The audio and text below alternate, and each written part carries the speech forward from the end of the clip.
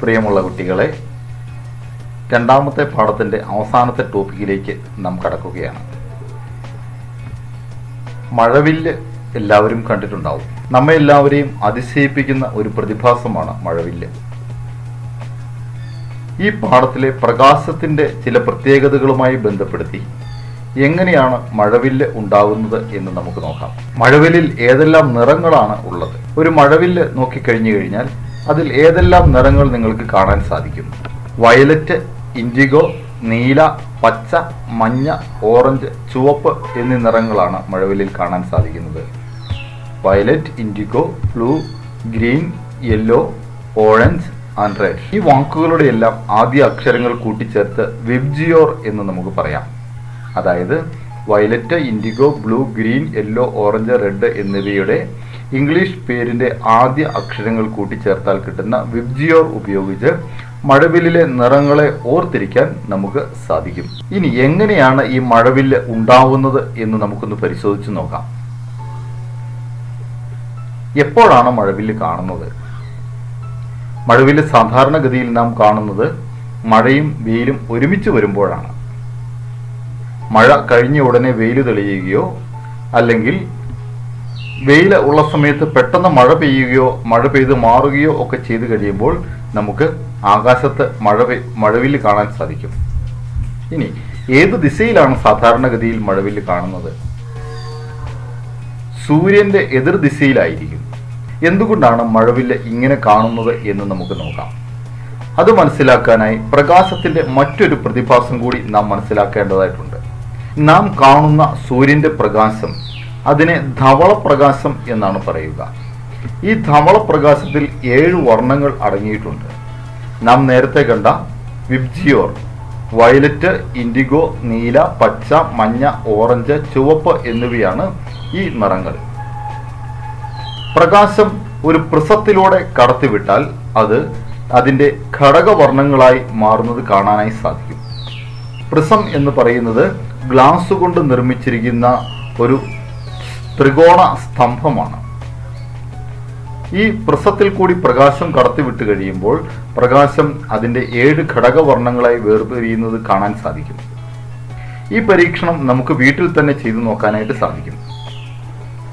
വിക്ടേഴ്സ് ചാനലിൽ സംപ്രേഷണം ചെയ്ത ക്ലാസ്സിൽ കണ്ട പരീക്ഷണം ഓർമ്മയുണ്ടാവുമല്ലോ? അത് എല്ലാവരും ഒന്ന് ചെയ്തു നോക്കണം. മുഖം നോക്കുന്ന കണ്ണാടി ഒരു പ്ലെയിൻ മിറർ ഒരു ട്രേയിലേക്ക് ചെരിച്ചു വെച്ചതിന് ശേഷം ഈ കണ്ണാടിയിൽ തട്ടി പ്രതിപദിക്കുന്ന പ്രകാശം ഒരു വെളുത്ത ഭിത്തിയിൽ അല്ലെങ്കിൽ വെളുത്ത പേപ്പറിൽ വരുന്ന വിധത്തിൽ ക്രമീകരിക്കുക.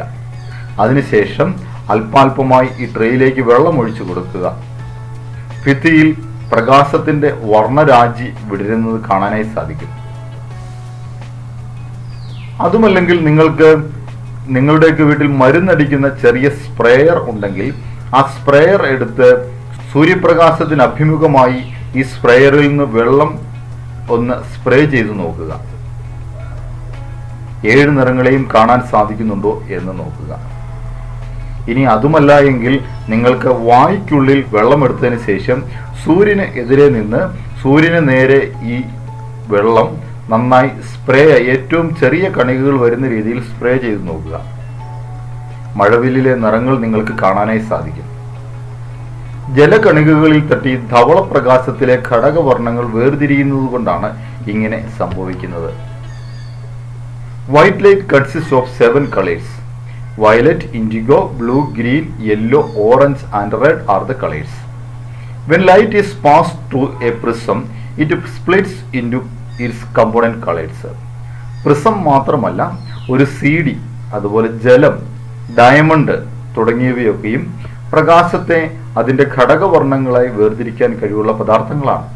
ഈ പ്രക്രിയയ്ക്ക് ഡിസ്പേഷൻ അഥവാ പ്രകീർണനം എന്നാണ് പറയുക.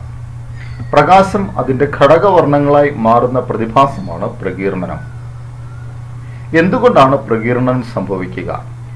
കഴിഞ്ഞ ക്ലാസ്സിൽ നാം അപവർത്തനം അഥവാ റിഫ്രാക്ഷൻ എന്താണ് എന്ന് പഠിച്ചിരുന്നു. പ്രകാശം ഒരു മാധ്യമത്തിൽ നിന്ന് മറ്റൊരു മാധ്യമത്തിലേക്ക് പ്രവേശിക്കുമ്പോൾ അതിന്റെ ദിശയിൽ ചെറിയ വ്യതിയാനം സംഭവിക്കുന്നു എന്ന് നാം കണ്ടു. ഇത്തരത്തിൽ ജലകണികകളിൽ നിന്നും വായുവിലേക്കും വായുവിൽ നിന്ന് ജലകണികകളിലേക്കും പ്രകാശം കടക്കുമ്പോൾ ചെറിയ അളവിൽ വ്യതിയാനം സംഭവിക്കുന്നുണ്ട്. ഈ അപവർത്തനം അഥവാ റിഫ്രാക്ഷൻ മൂലമാണ് പ്രകാശത്തിന് പ്രകീർണനം സംഭവിക്കുന്നത്. ദൃശ്യപ്രകാശത്തിലെ ഏഴ് ഘടക വർണങ്ങൾക്കും വ്യത്യസ്ത അളവിലാണ് അപവർത്തനം സംഭവിക്കുന്നത്. അതുകൊണ്ടാണ് പ്രകീർണനം സംഭവിക്കുന്നത്. The phenomenon of the splitting up of white light in its component colours is dispersion it occurs because different colours in white light undergo different extents of refraction അതുകൊണ്ടാണ് പ്രിസത്തിൽ കൂടി കടന്നു പോകുന്ന പ്രകാശത്തിന് അതിന്റെ ഘടകവർണങ്ങളായി വേർതിരിയുന്നത്. അല്ലെങ്കിൽ മഴവില്ലിന്റെ നിറങ്ങൾ നമുക്ക് പ്രസത്തിൽ നിന്നും പുറത്തു വരുന്ന പ്രകാശത്തിൽ കാണാൻ സാധിക്കുന്നത്. അതുമല്ലെങ്കിൽ ഒരു സി ഡിയിലോ അല്ലെങ്കിൽ ഡയമണ്ടിലോ തട്ടി പ്രതിഫലിക്കുന്ന പ്രകാശത്തിന് പല വർണങ്ങൾ കാണാൻ സാധിക്കുന്നത് പ്രകാശത്തിന്റെ പ്രകീർണനം അഥവാ ഡിസ്പേഷൻ എന്ന് പറയുന്ന ഈ പ്രതിഭാസം മൂലമാണ്. അതുതന്നെയാണ് മഴവില്ല് ഉണ്ടാവുന്നതിന്റെ കാരണവും. അന്തരീക്ഷത്തിൽ മഴ പെയ്തതിന് ശേഷം തങ്ങി നിൽക്കുന്ന ജലകണികകളിൽ തട്ടി. സൂര്യപ്രകാശത്തിന് പ്രകീർണനം സംഭവിക്കുന്നത് കൊണ്ടാണ് മഴവില്ല് ഉണ്ടാവുന്നത്. പ്രകാശത്തെ അതിന്റെ ഘടകവർണങ്ങളായി വേർതിരിക്കാൻ പ്രിസം എന്ന് പറയുന്ന ഉപകരണം ഉപയോഗിക്കാൻ സാധിക്കും എന്ന് നാം കണ്ടു. അങ്ങനെയാണെങ്കിൽ ഈ ഏഴ് ഘടകവർണങ്ങളും കൂടിച്ചേർന്ന് കഴിഞ്ഞാൽ ധവളപ്രകാശം വൈറ്റ് ലൈറ്റ് ലഭിക്കുമോ? അത് മനസ്സിലാക്കാനുള്ള ഒരു പരീക്ഷണമാണ് അടുത്തതായി. ന്യൂട്ടൺസ് കളർ ഡിസ്ക് ഉപയോഗിച്ച് നമുക്കത് ചെയ്യാനായി സാധിക്കും. ചിത്രത്തിൽ കാണുന്നത് പോലെ ഏഴ് നിറങ്ങൾ VIBGYOR violet indigo blue green yellow orange red എന്നീ ക്രമത്തിൽ കൃത്യമായും ഒരു കാർഡ്ബോർഡിൽ അല്ലെങ്കിൽ ഒരു സി ഡിയുടെ പുറത്ത് പെയിന്റ് ചെയ്തെടുക്കുക. ഇതിനെ നല്ല വേഗതയിൽ കറക്കി നോക്കും. വെളുത്ത നിറം ഉണ്ടാവുന്നത് കാണാൻ സാധിക്കും. ന്യൂട്ടന്റെ വർണപ്പമ്പരം എന്നാണ് ഈ ഉപകരണത്തിന്റെ പേര്. Newton's colour disc. നമ്മുടെ ശാസ്ത്ര പരീക്ഷണശാലയിൽ ഇതുപോലെ ഒരു കളർ ഡിസ്ക് ഉണ്ട് നിങ്ങൾ സ്കൂൾ തുറന്ന് വന്നു കഴിയുമ്പോൾ നിങ്ങളെ അത് കാണിക്കാനായി സാധിക്കും. നല്ല വേഗതയിൽ കറക്കുമ്പോൾ ഈ രീതിയിൽ വെളുത്ത നിറത്തിൽ കാണാനായിട്ട് സാധിക്കും. അതായത് ഏഴ് നിറങ്ങളെയും ഒരുമിച്ച് സംയോജിപ്പിച്ചു കഴിഞ്ഞാൽ വെളുത്ത നിറം ലഭിക്കും എന്ന് മനസ്സിലായി. പ്രകാശത്തിലെ ഘടകവർണങ്ങൾ കൂടിച്ചേരുമ്പോൾ വെള്ള നിറം കിട്ടുന്നു. When the component colors of light are combined, white light is obtained. ഇതുമായി ബന്ധപ്പെട്ട പ്രവർത്തനങ്ങൾ നിങ്ങൾ എല്ലാവരും ചെയ്യണം. ഉപയോഗശൂന്യമായ ഒരു സി ഡി അല്ലെങ്കിൽ ഒരു കാർഡ്ബോർഡ് എടുത്ത് ചിത്രത്തിൽ കാണിച്ചിരിക്കുന്നത് പോലെ ഏഴ് തുല്യ ഭാഗങ്ങളെ അടയാളപ്പെടുത്തുക. അതിൽ മഴവില്ലിലെ ഏഴ് നിറങ്ങൾ ക്രമത്തിൽ പെയിന്റ് ചെയ്ത് അതിനുശേഷം അത് ഒരു മിനി മോട്ടോറിന്റെ സഹായത്താൽ അല്ലെങ്കിൽ അതിന്റെ നടുവിലത്തെ ദ്വാരത്തിൽ ഒരു പെൻസിൽ വെച്ച് നല്ല വേഗത്തിൽ കറക്കി നോക്കുക. നിരീക്ഷണക്കുറിപ്പ് തയ്യാറാക്കി എനിക്ക് അയച്ചു തരികയും വേണം. അപ്പോൾ രണ്ട് കാര്യങ്ങളാണ് നാം മനസ്സിലാക്കിയത്. ഒന്ന് ധവളപ്രകാശത്തിൽ ഏഴ് നിറങ്ങളുണ്ട്. അതിനെ ഒരു പ്രസം പോലെയുള്ള ഉപകരണം ഉപയോഗിച്ച് ഘടകവർണങ്ങളായി വേർതിരിക്കാൻ സാധിക്കും. രണ്ടാമതായി ഘടകവർണങ്ങളെ ന്യൂട്ടൻസ് കളർ ഡിസ്ക് പോലെയുള്ള ഒരു ഉപകരണം ഉപയോഗിച്ച് കൂട്ടിച്ചേർത്ത് കഴിയുമ്പോൾ നമുക്ക് വെളുത്ത പ്രകാശം ലഭിക്കും. ഈ പാഠത്തിലെ തുടർ പ്രവർത്തനങ്ങളിലേക്ക് നമുക്ക് കടക്കാം. ഒന്നാമത്തെ ചോദ്യം സമതല ദർപ്പണത്തിന് ബാധകമല്ലാത്തത് ഏത്? പ്രകാശത്തിന് പ്രകീർണനം ഉണ്ടാക്കുന്നു പ്രകാശത്തെ പ്രതിപതിപ്പിക്കുന്നു പാർശ്വിക വിപര്യം ഉണ്ടാക്കുന്നു മിഥ്യാപ്രതിബിംബം ഉണ്ടാക്കുന്നു. ഇതിൽ അവസാനം പറഞ്ഞിരിക്കുന്ന മൂന്ന് കാര്യങ്ങളും സമതല ദർപ്പണത്തിന്റെ പ്രത്യേകതകളാണ്. പ്രകാശത്തിന് പ്രകീർണനം ഉണ്ടാക്കുന്നു എന്നുള്ളതാണ് സമതല ദർപ്പണത്തിന് ബാധകമല്ലാത്തത്. Which of the following is not relevant to a plane mirror causes dispersion of light അതാണ് ശരിയായിട്ടുള്ള ഉത്തരം. ഡിസ്പെർഷൻ ഉണ്ടാവുന്നത് പ്രിസം പോലെയുള്ള ഉപകരണങ്ങളിലാണ് എന്നുള്ളത് ഓർത്തിരിക്കുക. പ്രകാശ ബീം കടന്നു പോകുന്ന പാതയിൽ മൂന്ന് സുതാര്യ വസ്തുക്കൾ ക്രമീകരിച്ചിരിക്കുന്നു. ഇവയെ സംബന്ധിച്ച് ശരിയായ പ്രസ്താവന ഏതാണ്? ഈ വസ്തുക്കൾ ഏതൊക്കെയാണ് എന്നുള്ളതാണ് നിങ്ങൾ എഴുതേണ്ടത്. ഒന്നാമത്തെ വസ്തുവിൽ കൂടി പ്രകാശം കടന്നു പോകുമ്പോൾ പ്രകാശരശ്മികൾ യാതൊരു വ്യതിയാനവും സംഭവിക്കാതെ കടന്നു പോകുന്നത് കാണാൻ സാധിക്കും. അപ്പോൾ ഈ ഒന്നാമത്തെ വസ്തു ഒരു ഗ്ലാസ് ഷീറ്റാണ്. രണ്ടാമത്തെ വസ്തുവിൽ കൂടി പ്രകാശം കടന്നു പോകുമ്പോൾ പ്രകാശം വിവ്രജിക്കുന്നു അല്ലെങ്കിൽ പ്രകാശരശ്മികൾ പരസ്പരം അകന്നു പോകുന്നത് കാണാനായിട്ട് സാധിക്കും.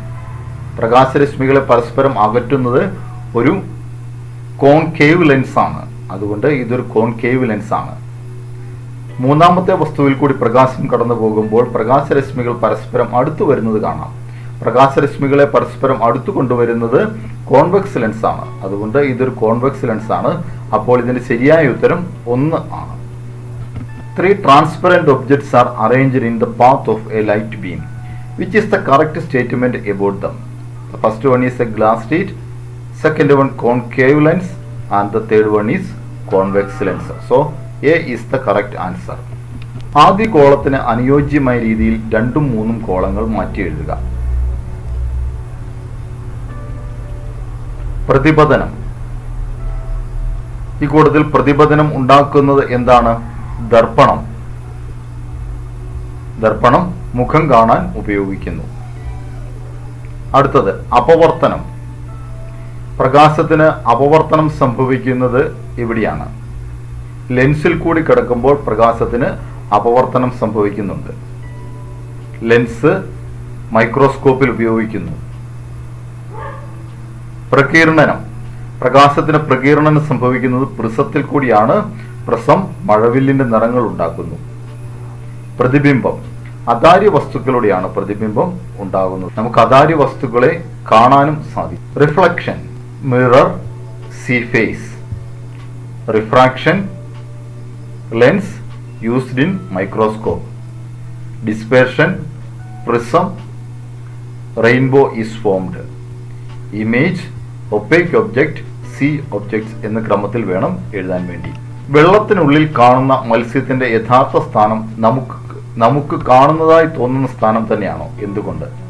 വെള്ളത്തിനുള്ളിൽ കാണുന്ന മത്സ്യത്തിന്റെ സ്ഥാനം നമുക്ക് കാണുന്നതായി തോന്നുന്ന സ്ഥാനം തന്നെയല്ല. എന്തുകൊണ്ടാണ്? അപവർത്തനം എന്ന് പറയുന്ന പ്രതിഭാസം മൂലമാണ്. പ്രകാശം ജലത്തിൽ നിന്നും വായുവിലേക്ക് കടക്കുമ്പോൾ അതിന്റെ പാതയ്ക്ക് വ്യതിയാനം സംഭവിക്കുന്നുണ്ട്. അങ്ങനെ പാതയ്ക്ക് വ്യതിയാനം സംഭവിക്കുന്നത് മൂലം യഥാർത്ഥത്തിലുള്ളതിനേക്കാട്ടിലും അല്പം കൂടി മാറിയാണ് നാം വസ്തുവിനെ കാണുക. അതുകൊണ്ട് വെള്ളത്തിനുള്ളിൽ കാണുന്ന മത്സ്യത്തിന്റെ യഥാർത്ഥ സ്ഥാനം നമുക്ക് കാണുന്നതായി തോന്നുന്ന സ്ഥാനം അല്ല അല്പം കൂടി മാറിയാണ്. അതിന് കാരണം എന്താണ്? കാരണം അപവർത്തനം എന്ന് പറയുന്ന പ്രതിഭാസമാണ്. പുതിയ സ്റ്റീൽ പാത്രത്തിലാണോ ഉപയോഗിച്ച സ്റ്റീൽ പാത്രത്തിലാണോ നമുക്ക് കൂടുതൽ നന്നായി പ്രതിബിംബം കാണാൻ കഴിയുന്നത് എന്തുകൊണ്ട്? പുതിയ സ്റ്റീൽ പാത്രത്തിലാണ് നമുക്ക് നന്നായി കാണാനായിട്ട് സാധിക്കുന്നത്. കാരണം പുതിയ സ്റ്റീൽ പാത്രം മിനുസം കൂടുതലുള്ളതായിരിക്കും. അതിൽ സ്ക്രാച്ചസ് പോറലുകൾ ഒന്നും വീണിട്ടുണ്ടാവില്ല. അതുകൊണ്ട് പുതിയ സ്റ്റീൽ പാത്രം പഴയ സ്റ്റീൽ പാത്രത്തെ അപേക്ഷിച്ച് കൂടുതൽ മിനുസം ഉള്ളതായതുകൊണ്ട് അതിലായിരിക്കും നമുക്ക് പ്രതിബിംബം നന്നായി കാണാനായിട്ട് സാധിക്കുന്നത്.